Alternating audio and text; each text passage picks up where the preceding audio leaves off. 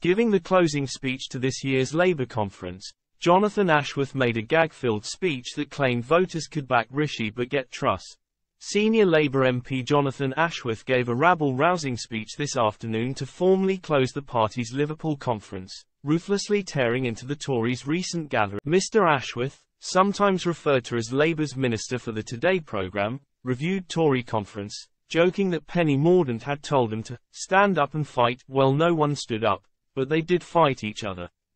He accused Priti Patel of skipping the light fandango with Nigel Farage, saying the politician turned GB News presenter was waltzing his way back into the Tory party and Sunak is too. The shadow cabinet minister later claimed Nigel Farage, along with Liz Truss, Suella Braverman and Jacob Rees-Mogg, is now calling the shots in the Tory party.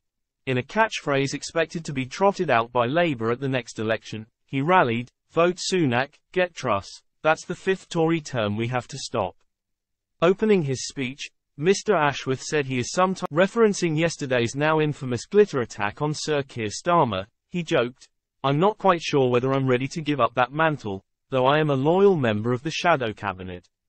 But I can speak with some qualification and authority in saying, didn't Keir sparkle yesterday, and he's given Labour its sparkle back.